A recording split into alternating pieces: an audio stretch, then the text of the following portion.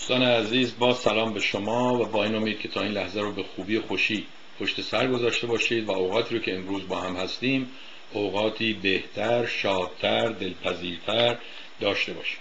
امروز چهارشنبه 21 سپتامبر سال 2016 میلادی است و برابر است با 31 شهریور ماه 1395 آخرین روز تابستان که الان دیگه در ایران شب هست و بچه ها آماده که فردا صبح برن مدرسه اول مهر. حالا منتظر باشید که خانم رجبی پیام اول مهر بفرسته تیمسار روحانی پیام اول مهر بفرسته آرضا پهلوی پیام اول مهر بفرسته و همین عقب افتاده هایی که اسم خودشون رو اپوزیسیون گذاشتن. یکی یکی باز یک صفحه یه نفر براشون بنویسه اینها هم بخونن و دلشون خوش باشه که چه فعالیت می‌کنن. ولی از همه مهمتر این بود که دیروز سازمان مجاهدین و دیدم سلطنت طلبا هم این ورانور نوشته بودن که جمع بشیم توی میان بلند میشن از کالیفرنیا میان توی نیویورک دوستانشون رو می‌بینن میرن اونجا معمولا هوا هم خوبه الان نه هوای سرد زمستونه نه هوای تابستونه. یعنی مقدار تابستون اون گرما رو از دست داده. هوای پاییز دیگه. امروز پاییزه فردا پاییزه.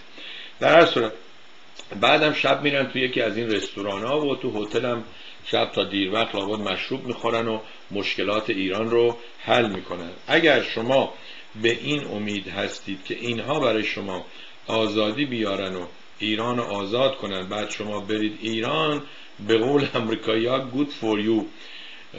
گفت که برو فکر نون بکن که خربوزه آب است. حالا کاش که اقلا خربوزه ای در کار بود. بذارید من این برنامه فیسبوک رو با صفحه خودم هم شیر کنم. برای دوستانی که احیانا من رو از صفحه شخصی خودم می‌شناسن و نمی‌دونن که ما با مردم تیوی هستیم یا نیستیم اونجا هم بفرستم اگر دوستانی هم که روی فیسبوک صدای ما رو میشنوید و برنامه رو می‌بینید لطف کنید شیر کنید ازتون ممنون می‌شویم. و اما امروز ساعت سه بعد از او با آقای یزدان خداوندلو هستیم. ایشون راجع به زهر و پادزهر می‌خوان صحبت کنن. می‌دونید که ایشون رشتهش آسیب شناسی است کار کرده در رشته آسیب شناسی حالا بازنشست شده با این همه مطالعاتی که داره و تجربه سیاسی و به اصطلاح پزشکی و اینها که داره اجتماعی که داره این رو آمده مجانی در اختیار من و شما قرار میده حتی از جیب خودش هم یه مقداری خرج می‌کنه.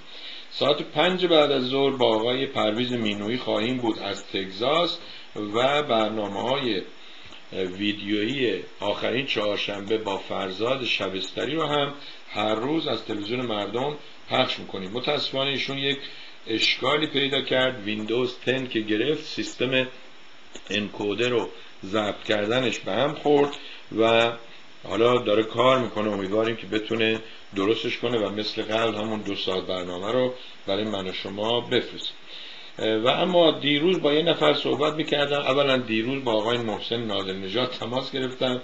این آقای نادری نژادم آدم بسیار جالبی است.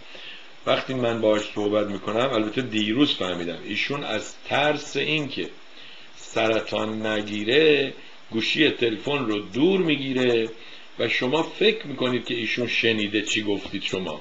اون برای خودش هرچی می‌خواد میگه من برای خودم هرچی می‌خوام میگه دیروز بهش گفتم آقا صدا خیلی بده. گفت آره من از ترس سرطان این گوشی رو دور می‌گیرم. عزیز من خب یه از این گوشی های اینجوری بزن داخل گوشت.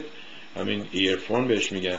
اونجوری دیگه اون بنده خدایی هم که داره باهات صحبت می‌کنه صدای ماشین و ابر و باد و فضا و اینا توی گوشش نمیره. ضمنا شما هم حرف ایش طرف رو می‌فهمید. ما هفته قبل وقتی باشون صحبت کردیم گفتیم آقا ما به عنوان یه بیننده برنامه شما شما که میگید چرا مردم تلفن نمی‌زنن؟ اولا از اول برنامه تا آخر برنامه اسم خودتو نمیگی شماره تلفنتو نمیگی ایمیلتو نمیگی و می‌دونید که مردم الان این روزا دارن گوش میدن کار می‌کنن. همه اینجوری نگاه نمی‌کنن به شما که ما مثلا شماره تلفن رو بنویسیم. وقتی آمدن اینو کوچیکش می‌کنن وای میسن برای خودشون گوش میدن با رادیو با تلفن گوش میدن و الی آخر. حالا ما یکی از بیننده که می‌خوایم با شما تماس بگیریم صحبت کنیم. خب سیستم اسکایپ تو گفتیم ردیف کن درست کن بیا یه بار امتحان کنیم که به صورت مهمان برنامه بیای اینجا. ضمن اینکه برنامه خودته دوشنبه ساعت چهار بعد از ظهر به وقت ببخشید اگه یکم این این صدای اینجوری اذیتتون می‌کنه دوستان فیسبوکی نه دوستانی که روی تلویزیون مردم میشنون چون میکروفون نزدیک اینجاست. خودم اون روز بعدا متوجه شدم که من این کیبورد رو که موو می‌کنم یه سنگی روی اعصاب شما خط میندازه در هر صورت. بعد بهش گفتم شما به من گفتی این هفته نیستی. منم گفتم خب وقتی که آمدی به من خبر بده که با هم یه دوشنبه صحبت کنیم. نگو که این بنده خدا دوشنبه منتظر ما بوده. بعدم میگی که الان فیلم منو پخش کردی؟ گفتم عزیز من من تا وقتی که بهت نگم پخش نمی‌کنم پخش می‌کنم. ما که دیگه نباید هر روز هی بگیم. بارها گفتم ما نمیریم فرودگاه بشینیم بگیم یه هواپیما اومد یه هواپیما اومد یه هواپیما اومد. وقتی یه اشکالی پیش میاد معمولا میگن یه هواپیما افتاد یا یه هواپیما مشکل پیدا کرد و الی در هر صورت سخن کوتاه کنم. هفته آینده یعنی دوشنبه آینده 26 سپتامبر ساعت 4 بعد از ظهر به وقت نیویورک یک بعد از ظهر به وقت کالیفرنیا. با آقای محسن نادری نژاد هستیم. شما هم اگر پرسشی دارید سوالی دارید یا زنگ بزنید یا ایمیل بفرستید یا فیسبوک می‌بینید آقای نادری نژاد زنگ بزنید شماره 202 695 25 73 زنگ بزنید شماره تلفن 703 957 61 50 ایمیل ارسال کنید usa. یا usa نقطه سوربی gmail.com فیسبوک یا رو صفحه فیسبوک مردم تیوی یا روی فیسبوک خودم برام پیام بفرستید تا اون پیام ها رو من در برنامه ایشون مطرح کنم. در هر صورت من می‌خوام از ایشون سوال کنم. شما همه این ایرادایی که می‌گیری از دیگران ما فرض می‌کنیم که درست باشه. خب حالا به نظر شما باید چیکار کنیم؟ رادیو تلویزیون دولتی که ما نداریم. رادیو تلویزیون مثل آمریکایی هم نداریم که از کوکاکولا گرفته تا شیافی که برای بواسیر استفاده می‌کنن تبلیغ می‌کنه. از نمی‌دونم ماشین نو تبلیغ می‌کنه تا پمپرز ما دایپرز و با ایرانی پوشک درست بود. ولی می‌گفتیم پمپرز. پمپرز اسم کارخونهش بود. و این خیلی چیزا بود اینجوری رسم شده مثلا اون کلمن کولر رو یا یخدون رو می‌گفتیم کلمن در صورت که اسم کارخونهش کلمن بوده. هر چی روش نوشته بوده ما هم همونو می‌گفتیم. ایدی هم نداره اقلا اگه بگیم کلمن طرف بهتر می‌فهمه تا حالا واسیم براش توضیح بدیم. خب و اما آقای رضا پهلوی دیگه تیر آخر رو من نمی‌دونم ایشون چند بار تیر آخر رو تو پای خودش می‌زنه. تیر آخر رو گویا تو پای خودش زد. دیروز با این نفر صحبت می‌کردم گفت شما خیلی سرسری گذشتید از این موضوع نامه ای که چندین نفر اول می‌گفتن صد نفر بعد گویا یه چند نفر رو رضایت دادن و نامه رو اسمشون در و سه نفر از دوستان از یاران از هواداران سلطنت و پادشاهی و مشروطه هشدار دادن به آقای رضا پهلوی که آقا این کارهایی که می‌کنی اینجوره اونجوره و اگر نکنی این کارو که من نمی‌دونم چه کاری دیگه نه من نه تو. آقای رضا پهلوی هم آمد نه پایین گذاشت نه بالا گذاشت به همه اینها گفت که شما همتون مزدور جمهوری اسلامی هستید. چون با این کارهایی که می‌کنید اونا رو خوشحال می‌کنید. این دوستمون گفت یکی از اینا یا شما تلویزیونیا سوال نکردی. آقای رضا پهلوی شما چرا یک کاری می‌کنی که حتی دوستان خودتم بیان ازت ایراد بگیرن که بعد برگردی به دوستان خودت بگی این کاری که شما دارید می‌کنید به نفع جمهوری اسلامیه؟ خب شما شروع کردی. در هر صورت گویا این 53 نفر هم دفتر نمی‌دونم شورای ملی شورا اینقدر شورا داریم همش هم شوربا ماشاءالله. خلاصه اعلام کرده که اینها همه مزدور جمهوری اسلامی هستن. اینقدر خندیدم گفتم اون وقتا سال 2001 ملت می‌گفتن این سربی مزدور جمهوری اسلامیه. ببین چه جوری به رضا پهلوی بپره حالا همه جم... همه شدن مزدور جمهوری اسلامی و اینها جز خود آقا رضا که تازه بحث های هست میگن چرا جمهوری اسلامی تا حالا هیچ کاری به اینها نداره؟ برای که اینها با هم معامله کردن. نمی‌دونم. من نبودم در قسمت معاملاتشون و خبر ندارم. و اما دوستی گفت که آقای سروی شما وقتی شعر می‌خونی مخصوصا چون خودت اینقدر حساس هستی و نگران هستی که نکنه شعر کسی رو خراب کنی یه بار قبل از برنامه شعر رو بخون دکلمه کن ضبط کن پخش کن گوش کن. گفتم می‌دونم. وقت ندارم متاسفانه. ای کاش شماها که این شعر رو برای من میفرستید قشنگ شعر رو دکلمه کنید با صدای خودتون من متنش نشون بدم یا عکسش نشون عکس شما رو نشون بدم ویدیو بفرستید همکاری کنید. ده دقیقه شما پنج دقیقه من تا بشه دو ساعت. ولی اگه من دو ساعت بخوام صحبت کنم برنامه تلویزیون ایرانی میشه همین. یه مش برنامه خسته کننده همه یا پیرن موهاشون سفیده یا پیرن موهاشون رنگ کردن که گول خودشون بزنن که ما هنوز پیر نیست نمیدون این هم از این ماجرا. نامه به رضا پهلوی و اینکه ایشون همه رو گفته اینها مزدور جمهوری اسلامی هستن. و اما ما اون روز در رابطه با آقای شاه که بابا مگه ما برف تو ایران کم داشتیم؟ شما چرا می‌رفتی سوئیس؟ یه دوستی زنگ زد و پیغام گذاشت خیلی قشنگ. البته چون گفتن که این پیغام برای خود من هست من صدای ایشون رو پخش نمی‌کنم. ولی وقتی برای خود من هست یعنی من یاد بگیرم به مردم منتقل کنم. چشم. گفت که از شماها من بپرسم چرا در زمان شاه که به قول طرفداران سلطنت پاسپورت ما مثل نمی‌دونم چی چی بود رو هر جا میذاشتیم آب می‌شد و رامون می‌دادن به اون کشور. چرا اگه می‌خواستی بری سوئیس باید ویزا می‌گرفتی؟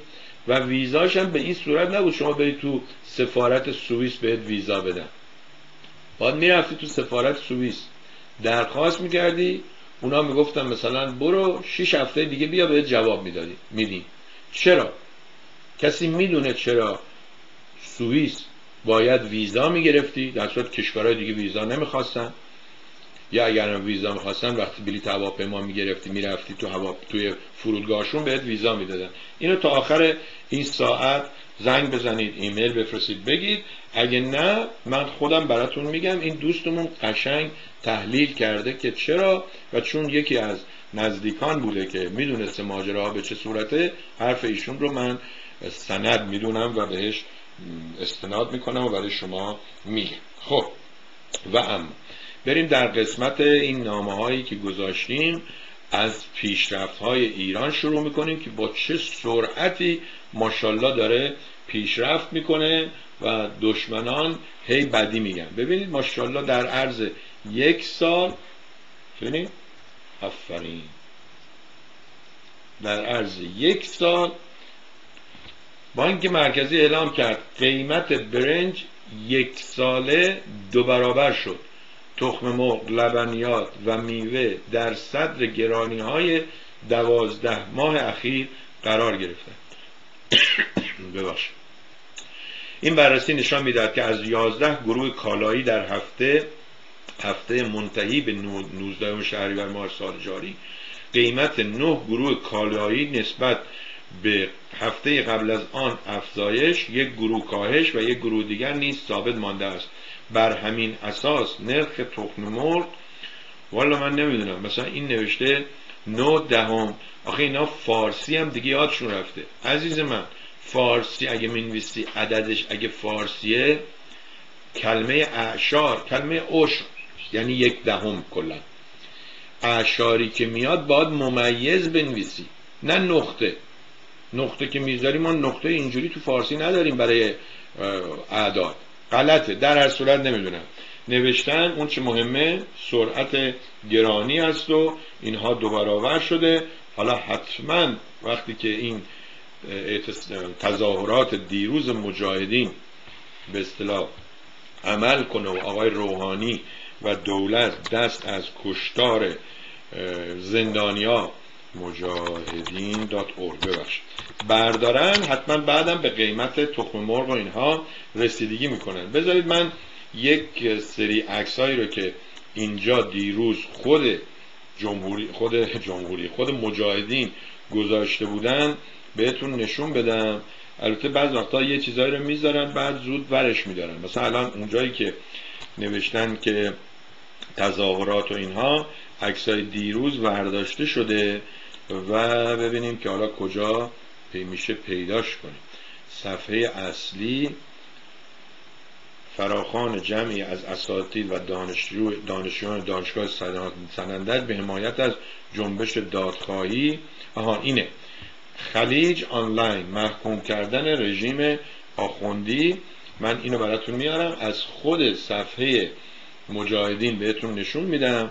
و اینم سوال ما که اینایی که میگن همه مزدورن همه جاسوسن شما وقتی خودتون میرید اونجا عکس می‌گیرید ویدیو می‌گیرید افرادی که می‌خوان مزدور باشن برای جمهوری اسلامی چه کار می‌تونن انجام بدن؟ این عکس ها اولا هرچی این دوستان تعدادشون کمتر میشه پیرتر میشن قدشون خمیده تر میشه تعداد پرچما تعداد پلاکارتا بیشتر و بزرگتر میشه. نوشته که تظاهرات حامیان مقاومت در مقابل مقر سازمان ملل متحد در نیایورک. این مقاومت یعنی همون مقاومت که چی بوده نمی‌دونم. یعنی حالا اینا هی می‌دونید خودشون هم یه جورایی خجالت می‌کشن. گاهی وقتا اسم مجاهد رو بیارن و هی در میرن. من حالا دارم دنبال اون عکسا میگردم. ببینم اینجا. نخیر اینجا نیست. باور کنید قبل از برنامه بود که نوشته بود عکس ها آهان کلیپ و تصویر. بله اینجاست. ببینید دوستان اولا از تعداد پرچما و که بعضی ها حتی دستشون دو تا سه تا گرفتن فقط اینا می‌خوان رنگ زرد و اینها رو نشون بدن بگن ما زیادیم یکی نیست که بگه آقا آمد دو هزار نفر سه هزار نفر ده هزار نفر پونزه هزار نفر. بعد جالب اینه که داخلشون هم حالا دیگه افراد سوریهی هست. حالا نه که یه عده سوریهی از دست آخوندا ناراحتن اینا میرن اونا رو میارن و تو تظاهرات می‌بینی. ولی سوال من دوستان چه راجب آمریکاییایی که برای به داشتن اسلحه برای نداشتن اسلحه تفنگ چی میارن بچه ها رو میارن تو تظاهرات. سوال من از شما اینه. اتفاقا این دختر کوچولو که عینک داره درست شبیه دختر داداش من هست. نظر شما راجع به اینکه این بچه ها رو درگیر می‌کنن چیه؟ اولا قیافه این بچه ها رو نگاه کنید دوستان. قیافه ها رو نگاه کنید. از لحاظ نگرانی از اینکه اصلا نمی‌دونن چی به چیه کجا به کجاست. ولی ماشاءالله نگاه کنید. ماشاءالله. مریم خندان روز به روز جوانتر ساعت هم مثل رولکسه. بماند. خب حالا بچه ها به جای خودشون خب دیگه اینا نتونستن که نیرو جذب کنن. باید از کیا استفاده کنن؟ از مرده ها. افتخار می‌کنن که سی هزار تا کشته و مرده و نمی‌دونم چی چی تحویل دادن. البته آقای مرداد میگه 120 هزار تا. بله. خانم رجبی هم پیام داده. بعد حالا یه سری تندروهای هستن. این آقای لیبرمن. آقای لیبرمن یه جورایی از من گیچتره این یه مدت Republic بود یه مدت دموکرات بود یه مدتی independent شد یا مستقل شد. در صورت سناتور جوزف لیبرمن سخنران بعدی تظاهرات این هم همینا که برای ده دقیقه 15 دقیقه 25 هزار دلار 30 هزار دلار می‌گیرن و میان. از این برم اینا رفتن دست به دامن مسیحی ها شدن. بعضی از افرادی که مسیحی هستن اونا رو میارن. حالا با سازمان ملی مقاومت و ارتش آزادی بخش و مجاهدین من نمی‌دونم. باز دوستان نگاه کنید بچه ها از چه سن و سالی. ببینید این بچه ها رو میارن درگیر این مسائل می‌کنن و افراد سوریهی ببینید. فریدم سوریا آزادی برای سوریه.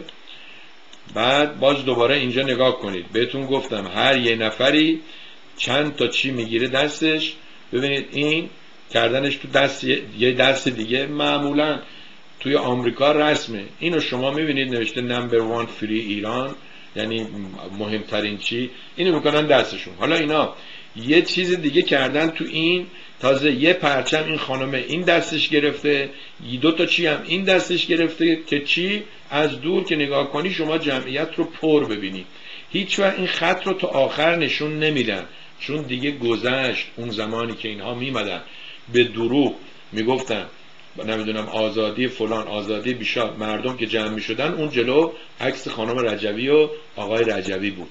مردم دیگه چیز شدن مارگزیده شدن. در صورت نگاه کنید دوستان عکسا یک دونه عکسی که به اصطلاح لانگ شات باشه از دور نشون بده که نشون بده که مثلا یه بلاک که شما بفهمی یه بلاک مثلا 500 نفر 600 نفر تو این پهنای خیابون جا می‌گیرن. شما نمی‌بینید. ببینید هر چی تونستن فقط تابلوها رو بزرگ کردن و رنگی کردن. حالا همه اینا پوله. اینا رو از ایران که وارد نکردن توی عراق هم که نساختن. اینا رو توی نیویورک باید پول بدی بسازی همون موقع بعدش بریزی دور. بعض وقتا با پول بدی تمیزش هم بکنن. چون اون کسی که میره نوبت میره اجازه می‌گیره ازش یه دیپازیتی می‌گیرن برای نظافت برای تمیزی. بفرما تنها لانگشاتی که شما می‌بینید عکس مرده هاست. از زنده ها خبری نیست. بعد حالا چقدر پول خرج کنن؟ این آدمکای به این بزرگی رو بسازن و اینها اونها باید مسئولین بیان جواب بدن. باز نگاه می‌کنیم ما دوستان مجانی تبلیغ مجاهدین رو کردیم یک دونه یک دونه لانگ شات ندیدیم. آقای مهداد خان یادته خود شما که میومده اینجا من با شما میمدم فیلم برداری می‌کردم. دور تا دور بلاک 21 که به اصطلاح وزارت امور خارجه آمریکاست که همین دوستمون آقای اسقر عباسزادگان با بلنگو جلو را میافتاد و اینها دور تا دور آدم جمع می‌شد. الان دیگه آدم ندارید. شده یه مشتی عکس مرده یه مشتی تبلیغات پلاکارت جلیزغه های زرد بشینید خودتون نگاه کنید. دیروز یه نفر برای من فیلم اسمش نمی‌برم. یه فیلم ایرانی فرستاد. گفتم آقا این فیلم رو الان اینجا دارن نشون میدن. این نباید روی یوتیوب باشه. خب حالا که هست. گفتم قولت میدم. این یکی گذاشته. الان بلا فاصله هم ورش میدارم یه رب ساعتی که گذشت براش نوشتم. دیدی بهت گفتم؟ گاهی وقتا باید بابا یه چیزایی رو بریم از یه نفر دیگه بپرسیم. ای کاش این مجاهدینم را میافتادن. می اومدن می‌گفتن آقا سربی تو که مخالف ما نبودی و نیستی. نظرت چیه؟ همینجوری خودتون یه اشتباهی رو هر سال ادامه بدین. هر سال هم شما دلت خوشه که داری فداکاری می‌کنی. واقعا هم فداکاریه. اگر کسی پول مخارج تو نمیده میای کارتو ول می‌کنی میای میری این فداکاریه. ولی فداکاری چی؟ نتیجهش چی؟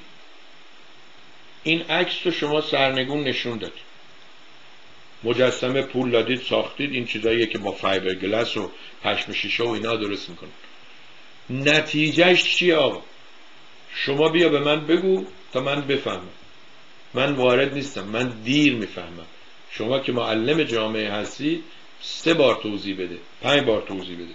خب بریم سراغ چیزهای دیگه که گذاشتیم اینجا. بله.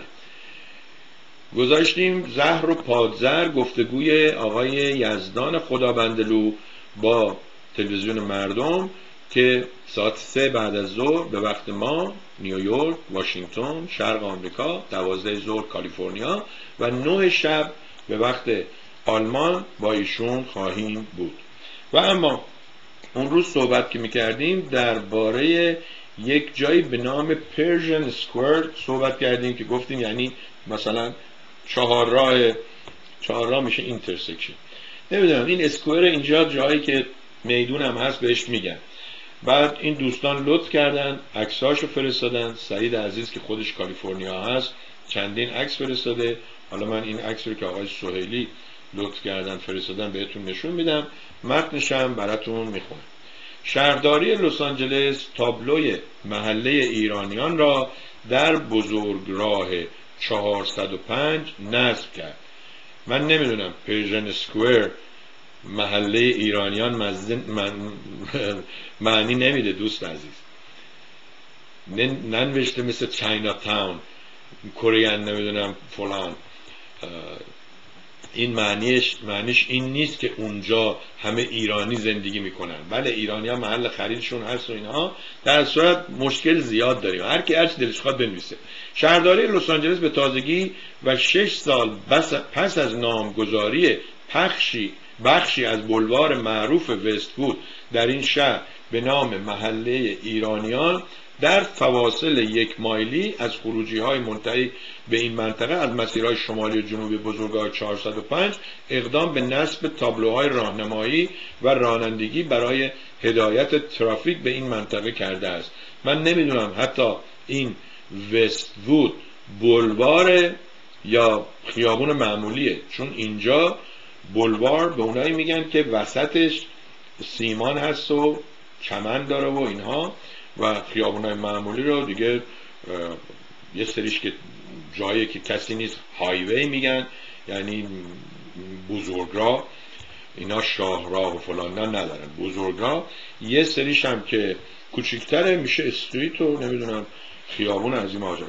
این اقدام به درخواست گروهی از, ساک... از ایرانیان ساکن لس آنجلس و با حمایت مالی آقایان الکس هلمی رضا ساربانها مایکل دلیجانی و بیتا دریاباری انجام شده است. این خانم دریاباری خیلی پول داره و ازش خیلی خوبه. نمی‌دونم همسر اون کسی که مال گوگل و اینا خلاصه بمانه. یه تابلوی تو آمریکا زدن ایرانیا اسم یه جایی رم کردن به نام ایران. خیلی خوب. آفرین. خود این نشون میده که دیگه ما اینجا مثل قبل نمیگیم ما شش ماه دیگه برمیگردیم ایران. اینجا من اینجا ریشه در خاکم و یواش یواش زیر این بعدا با فارسی می نویسن بعدم دیگه تموم میشه. یه دوستی هم گفت آقا اینقدر هی وطن وطن می‌کنید وطن یک کمی خاکه. آدماش هستن که اونجا رو مهم می‌کنن درست می‌کنن. یه جا میشه سوئیس یه جا میشه نمی‌دونم هلند یه جا میشه فنلاند یه جا میشه این. در صورت اگه کسی خواست در این مورد هم می‌تونه بیاد صحبت کنه. ممنونم از دوستانی که این عکس ها رو فرستادن. و اما اون روز که آقای آریانپور اینجا بودن برای من تعریف کردن که بعضی از دوستانی که حتی در نیروی دریایی هستن بودن حالا سر پیری بازنشستگی یا از کار اخراج شده با هم دعوا می‌کنن. یعنی اون موقع که در رژیم شاهی پادشاهی می‌گفتن که اصلا خود سیستم اینجوری بوده که بین اینها تفرقه بنداز و حکومت کن. گزارش همدیگر رو می‌دادن برای همدیگه می‌زدن. گزارش دروغ می‌دادن اینها بماند حالا که کاری ندارن یا دارن بازنشستگی از ایران می‌گیرن یا اینجا بازنشستگی میرن به جون هم افتادن. حالا یکی از اونها آقای هست به نام کیهان خسروانی گویا ایشون نوشته تیمسار حبیب اللهی در سال 59 بازنشسته نشد. فرار را برقرار ترجیح داد چرا حقیقت را نمی نویسید ضمنا اگر منصف باشیم تیمسار دریا سالار رسایی خدماتی را انجام داد که به نظر هیچ از فرماندهان نیرو در زمین انجام ندادن نمی‌دونم یه چیزی اینجوری. حالا آقای تیمسار آریانپور آمدن جواب دادن نوشتن که دوست گرامی آقای فرشاد ناصری یا تاسری چون ارسال این ایمیل از طریق بعد نوشتن که در صورت امکان آن را در اختیار فردی به نام کیهان خسروانی که فکر می‌کنم در نیروی دریایی انجام وظیفه می‌کرده است ارسال کنید. بعد نوشتن که دریا سالار کمال حبیب اللهی به علت بیماری در بیمارستان به سر می‌برد و ایشان پس از خواندن زندگی نامه زندگی نامه ایشان و ذکر جمله یکی از فرماندهان خوب نیرو درایی ناراحت شده و به یاد کینه شطوری خود افتاده و خواستن با فردی که در بستر بیماری و مرگ است خورده حساب شخصی را تصویر کنند آیا تعریف از دریا سالار حبیب اللهی ربطی به تکذیب از خدمات تیمسار رسایی دارد؟ ولی اون که من می‌خوام نشون بدم و اتفاقا هفته پیش قبل از اینکه آقای آریانپور بیان اینجا ایشون برای من یک نوشته ای رو فرستاده بود که به دوستان هم فرستاده بود.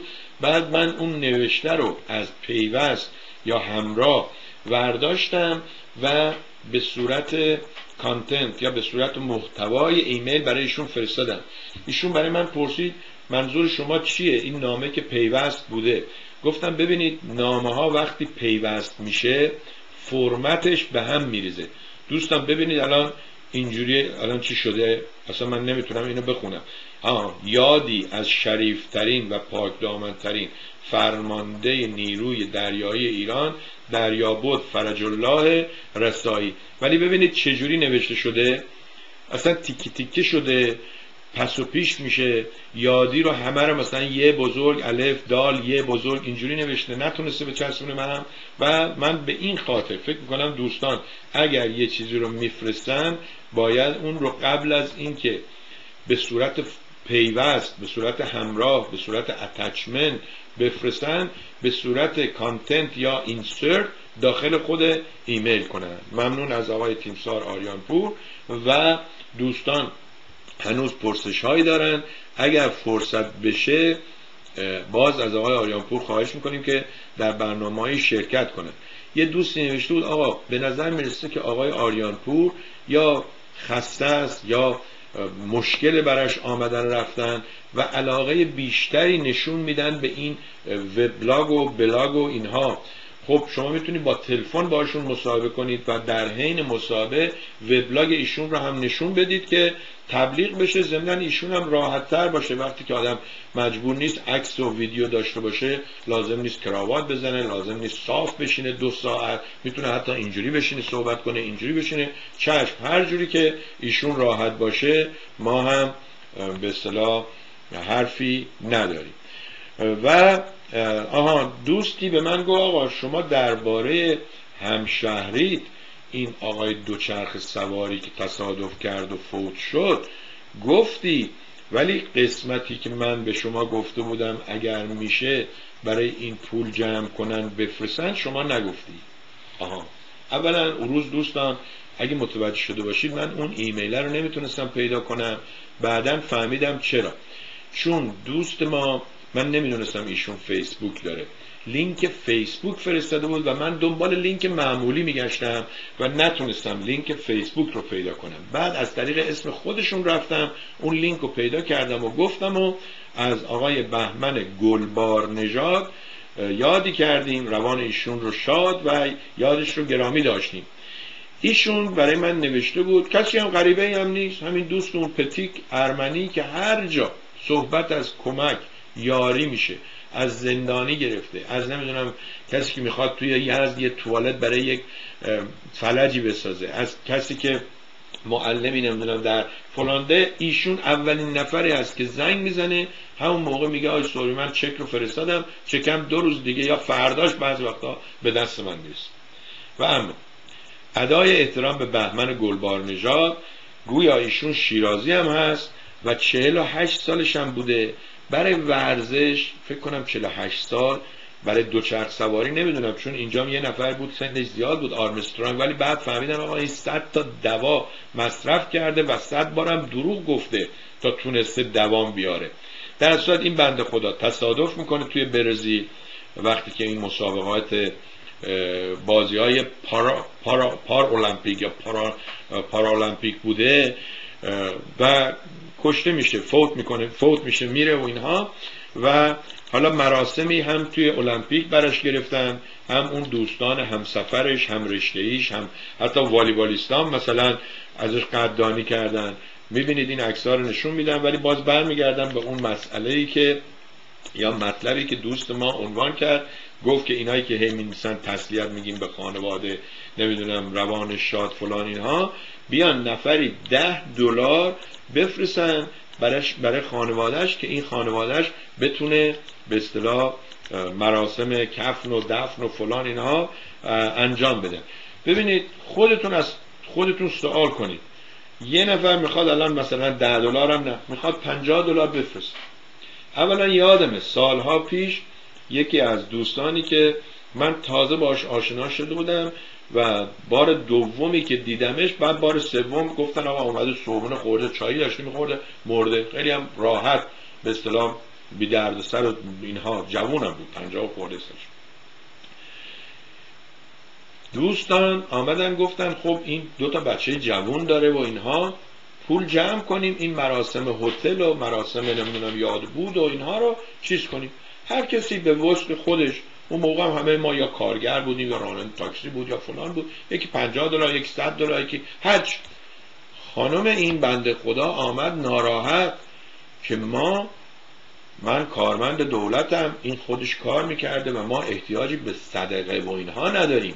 اینم یه بدبختی دیگه است. که عزیز. به این سادگی نیست که من 100 دلار 10 دلار 50 دلار بکنم تو فیسبوک و اون گیرش بیاد حالا این وسط بعضی هم سو استفاده می‌کنن و میان از احساسات پاک مردم به اصطلاح همین سو استفاده کلمه درستیه دیگه. میگن آقا یه حسابی باز کردیم مثلا برای آقای گلبار نژاد بیان پول بدید. بذارید من این عکسش نشون بدم اتفاقا این عکسش مثل که جلو در خونهشون از تو شیراز. بذارید.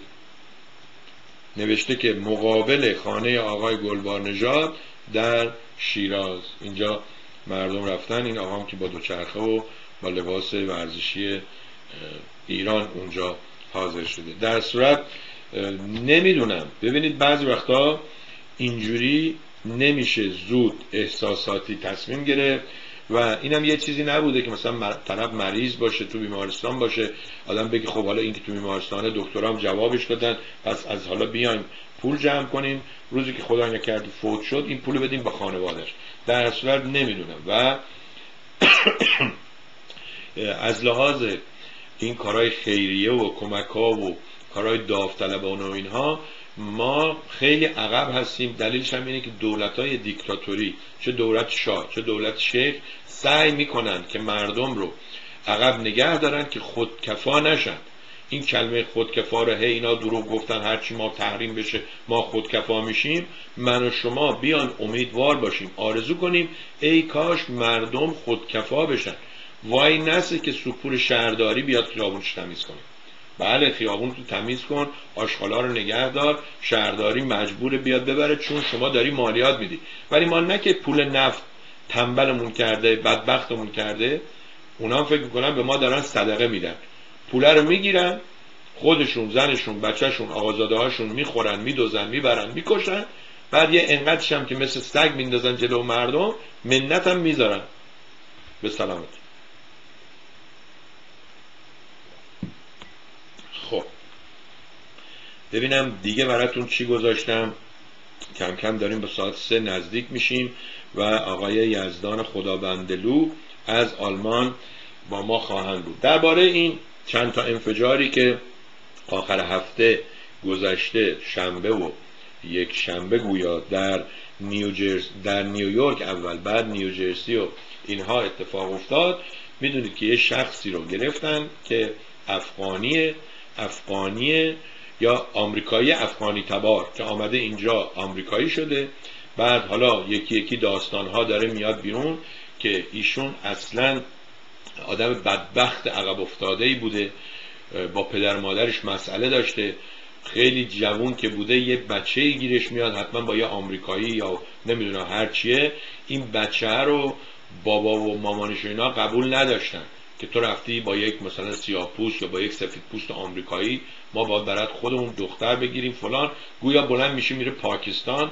نمی‌دونم از این ازدواج های اینجا بهش میگن ارنج از این ازدواج هایی که برای همدیگه سیغشون رو خوندن تو هوا.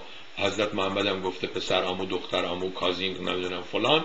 گویا از این ازدواج ها کرده طرف از پاکستان هم آورده اینجا. اگه اشتباه نکنم یه بچه هم از اون بعد خودش و زنش خواستن کار کنن. زندگی آمریکایی دریم آمریکایی امید آرزوی آمریکایی. رفتن یه آپارتمانی گرفتن. ماه چندم نتونستن اجاره رو بدن انداختنشون بیرون. اینجا اجاره ندی چیاتو میان میرزن بیرون. با پلیس با شریف میاد چیزاتو میریزن کنار خیابون بعدم تو دادگاه می‌برن میگن شما اینقدر بدهکاری هیچ کسی دیگه بهت خونه اجاره نمیده. میمونه روی کردیت یا روی سابقه روی سوء سابقه میشه برد خب. مجبور میشه بره بالای ساختمونی که باباش به اصطلاح اون پایین از این مرغ سوخاری و اینا درست می‌کنه اسمش هم گذاشته فرست امریکن فراید چیکن اون بالا حالا شما فکرش بکنید جایی که از صبح تا شب دارن این مرغا رو با این چربی میندازن تو این روغن تا فراید بشه اون بالا چه بوگندی می‌گیره چه گرمایی میشه و اینها بمانن. اینا اونجا داشتن زندگی می‌کردن. مشکل پیدا می‌کنه. زنه بلند میشه طلاق می‌گیره. بلند میشه میره پاکستان. اتفاقا زنه هم با گرفتن یعنی باهاش صحبت کردن. گرفتن دستگیر نه. رفتن چیز کردن. گفتن خیلی هم همکاری می‌کنه همه چی داره میگه و میگه آقا این مشکل داشته. حتی پدرش سال 2014 به شما آمده گفته پسر من داره تروریست میشه. شما نرفتید هیچ کاری انجام بدید.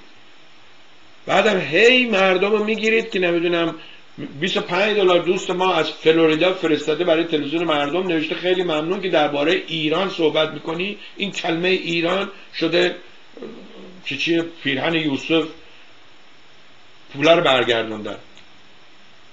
ولی اون طرف باباش اومده گفته آقا این تروریست شده. با چاقو برادرش زده. با چاقو زن برادرش زده. مادرش زده. باباش زده. بابا میگه آقا ما که اومدیم به شما گفتیم شما کوتاهی کردید. حالا هم افتخار می‌کنن که ما اینو تو 24 ساعت یا 36 ساعت گرفتیم. بله گرفتید چون چیزا منفجر نشده بود. اگه منفجر شده شاید هم باز, باز شانس میاده می‌گرفتید. ولی این گرفتن ها به درد عمتون می‌خوره. این همه میلیون ها نفر رو شما گذاشتید زیر میکروسکوپ دارید جاسوسی می‌کنید شنود می‌کنید. بعد اینا چپ و راست هر کدومش یه کاری انجام میده هی شما میگید این اتفاقا اف بی آی هم دنبال به زیر نظر داشت.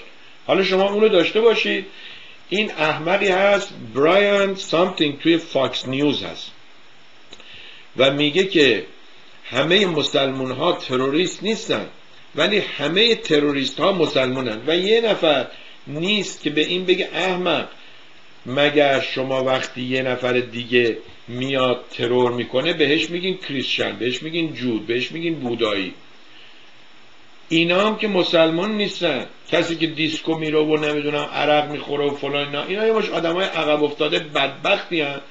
از بدبختی میرن. حالا دیدید دیگه خود آیسیس میگه این سرباز آیسیسه. اینا الان چیزهاش که خوندن ژورنال یا خاطراتش خوندن میگن آقا اصلا این با آیسیس هیچ کاری نداشته. این دنبال طالبان و دنبال القاعده بوده. بله بفهم Meet this week white Texan terrorist Trump isn't talking about. میگه ببینید سفید پوستی که تروریسته ولی ترامپ یا دیگران ازش صحبت نمی‌کنن. این آقای سفید پوست رفته بمب گذاشته یعنی پلت داشته یعنی برنامه داشته که یه ساختمونی منفجر کنه گرفتنش و فلان اینها. ولی شما اینجا هیچ شنیدید؟ صحبتی ازش شد یا اون تیموتی مکوی که سال 96 بود که اصلا صحبتی هنوز از این مسلمان ها و اینها نبود وقتی زد اون فدرال بیلدینگ و اون بچه که اون زیر بودن کودکستان کارمندان بدبخت کارمند اونجا صبح بچه شو خواب میاره میندازه اون پایین میره بالا کار می‌کنه. منفجر کردن. اگه مرده که بعد بعد بعد حالش. اگر زنده مونده که دیگه بیچاره تر باید داغ بچه شد چیز کنه. اینا رو هیچ, هیچ کسی میاد بگه آقای تیموتی مسیحی. همشون هم یکی پس از دیگری میگن اینا اشکال روانی داشتن. ولی این بچه احمق که الان زنده هم هست میگن با پلیس هم صحبت نمی‌کنه. چون این اصلا می‌خواسته این کارو بکنه کشته بشه. انقدر فشار زندگی روش بوده بچه اول داشته باشی پدر مادر قبولش نداشته باشه. بچه دومی رو بیاری از خونه که رفتی اجاره کردی بندازنت بیرون مجبور بشی بری بالای مرغدونی زندگی کنی. مرغدونی فروشگاه مرغ زندگی کنی. بابا هر روز منت سرت بذاره. هر روز دعوای داخلی داشته باشه در صورت وضع خیلی خرابه. یه چهل و چند روزی مونده. آقای آرمن ساگینیان هم این دیوانه واقعا اینا رو باید زنجیر کنن. خب من حالا می‌فهمم دیوانه زنجیری یعنی چی. اگه اینو زنجیر کنن دیگه این ور نمیداره رو فیسبوک و روی چیز ایمیل بنویسه برای این و اون. کسی که ادعا می‌کنه ارمنیه تو گلندل و اینجا هست زندگی می‌کنه کالیفرنیا. همیشه هم مهندس سا... مهندس آرمین ساگینیان هم چیز. بعد میگه که حضرت محمد آمده به من گفته آقا این مسلمان ها به من خیلی زور می‌کنن تو بی برو من نجات بده. دو تا کتابم ورداشته نوشته که کتاباش هم فکر کنم به عنوان صندلی تو خونش می‌ذاره میشینه روشون از استفاده می‌کنه. یک کسی مثل این مثلا طرفدار ترامپ. ترامپ دیوانه ای که رفته یک سازمان غیر انتفاعی باز کرده. از مردم پول گرفته که مثلا کمک کنیم به زنایی که خونه ندارن به بچه هایی که نمی‌دونم اصلا حالا هدفش چی بوده. بعد پول این سازمان رو برده داده وقتی که شرکت خودش به مخاطره و دادگاه افتاده در برد داده به اونا که دست از سرش بردارن. پسر احمقش هم که دیروز برداشته نوشته شما فکر کنید که یک آب نباتایی هست اینجا فکر کنید که توی یک کاسه پر از آب نبات من به شما میدم و میگم سه تا از این آب نبات ها سمیه. آیا شما مشت می‌کنی همه رو برداری بخوری؟ یا میگی چون سه تا سمیه اصلا نزدیکش نمیاد. سوریه یا پناهنده که دارن میان مثل این آب کاسه آب نبات. که یکی به این احمق بگه اگه تو اینجوری فکر می‌کنی بلند با این بابای شامپانزد گوریل چی اسمش؟ رنگ اورال اوتان فکر کنم این رنگیه. بلند گورتو گم کن برو همون ایرلند و آلمان هر جایی که اومدید. اگر هر کسی کشورش باید فقط مال خودش باشه این کشور مال های آمریکاییه. که اصلا اونا وقتی هم بهشون بگی سرخپوست ناراحت میشن. ردسکین یعنی چی؟ ردسکین موقعی بودی که اینا رو موهاشون پوستشون میکندن. باورتون میشه اینا رو پوستشون میکندن. خون ازشون میمده اون موقع ردسکین می‌شدن. و اینا که سیاه سرخ نیستن. پوستشون که سرخ نیست. مثل ما که مثلا میگیم این سیاه پوست اون نمی‌دونم چینی ها و اینا رو میگن زرد پوستن تقریبا. نژاد زرد. اینا که این نیستن. اینا میگن نیتیو میگن آقا ما بومیان اینجا هست. ما اینجا بزرگ با دنیا آمدیم زندگی کردیم. شما یه دفعه مثل قضا بلای آسمونی ریختیم رو سرم خب. و اما پتیک نامه نوشته برای آقای آریانپور نوشته آخرین مقاله وبلاگتان را که در مورد کنفرانس چچن بود. سرسری نگاه کردم. من نه دین شناسم نه جامعه شناس نه تاریخدان. اما یک چیز را خوب می‌دانم. هر قدر این ماجرای دین و اینها رو به هم بزنیم بوی گندش بیشتر می شود و هرچه بیشتر زیر آتش چوب بریزی دیگ گرمتر. اگر ما طالب دموکراسی هستیم و خود را متمدن می‌دانیم در آینده ایران برای همه باید جایی را در نظر بگیریم و با روش مسالمت آمیز زندگی کنیم. و الا وضعمان همین و شاید هم بدتر از این بشود. آقای پتیک عزیز ساعت سه بعد از او با آقای یزدان خداوندلو هستیم. نمی‌دونم ایشون با ما هست الان روی فیسبوک یا نه. ایشون یه بار درباره اینکه آیا لزوما باید به عقاید دیگران احترام بذاریم یه بحث مفصلی انجام داد و به این نتیجه رسید که نه آقا لازم نیست که به عقاید همه احترام بذارید. شما مثلا به عقیده اون کسی که میگه خدای من عقیده من اینه که من اگر چهار نفر رو بکشم میرم بهشت. شما به اون احترام نمی‌ذاری که. چون اگه احترام بذاری اولین نفری که جلوش شما هستی. پس باید یک چیزی هم شما یه جایش قشنگ نوشتید که با روش مسالمت آمیز. حالا چجوری با یه همچین شخصی می‌خواین مسالمت آمیز رفتار کنید؟ اونم باز یه سوال دیگه است. فکر یه روزی اگه خونه بودی اینم کار می‌کنه. شب و روز و یک شنبه و همش کار می‌کنه. یه روزی بودی زنگ بزن پیام بذار پیامت پخش کن یا بیا مهمون ما باشه یه کمی با هم کلکل کل کنیم. این کلکل کلمه که چند سال اخیر ما اون وقتا تو ایران نمی‌گفتیم. گفت و شنود داشته باشیم. خب میگه که من دو سه بار این مطلب رو خوندم در حد گزارش تلویزیونیست و روحش شاد باد. این جالبه. وقتی که ما اون روز را با آقای آریانپور صحبت کردیم و در مورد برادر ایشون گفتیم یه نفر آقای یزدان خداوندلو بود کتابی از آقای آریانپور به از دکتر امیر حسین آریانپور خونده بود. بعد من گفتم ما این افتخار داریم که با داداششون اینجا به اصطلاح همسایه و همشهری هستیم. یه دوستی نوشته که آقای سوربی این تیمسار آریانپور یک برادری داشت به نام دکتر امیر حسین آریانپور که استاد جامعه شناسی بود در دانشگاه تهران و از افتخارات علم و ادب ایران. ما که اون موقع دانشجو بودیم به خودمون افتخار می‌کردیم که جامعه شناسی آریانپور را خواندیم. سیستم شاهنشاهی برای آزار ایشون دکتر مرتضا متحری را هم گذاشته بود استاد دانشگاه و همیشه بحث و جدل داشت با استاد آریانپور. بعد از انقلاب روز کارگر در سال 58 مرتزا متحری ترور شد. یکی دو ماه بعد بود که ما یک عده از دانشجوها رفتیم منزل ایشون. توضیح می‌داد که چه فشاری نیروهای کمیته بر ایشون وارد می‌کردن و می‌گفتن که شما از قتل دکتر متحری با خبر بوده. در واقع اونها هم رفته بودن نزد ایشون و با وجود اینکه باهاش مخالف بودن ولی از ایشون سوال کرد نظرخواهی کرده که چه حوادثی ممکن است پیش بیاید. و آقای امیر حسین آریانپور به اینها گفته بود که با این وضعی که شما دارید رفتار می‌کنید به زودی ترورها شروع میشه. و اون احمقا فکر کردن که آقای آریانپور مثلا یک خبری داشته. نه بابا داناست دیگه می‌دونه که این کاری که شما می‌کنید اینجوری میشه. مثل یه بچه ای که مثلا داره با یه کسی داره شاخه یه درختی رو می‌بره شما که واردی میگی بابا این درخت الان میفته رو سر خودت. در هر صورت این دوستون ادامه داده. همین داستان آتو داده بود دستشون که ایشون رو متهم کنن در حالی که ایشون به دنبال این که واقعا یک دانشمند جامعه شناس بود و می‌دانست که چه حوادثی ممکن است بعد از انقلاب پیش بیاید در جهت روشن کردن این آقایون این توضیحات رو داده بود که یک رد تیر هم گوشه پنجره خونش به ما نشون داد که از پشت ساختمون شلیک کرده بودن طرف منزل ایشون. این هم از این.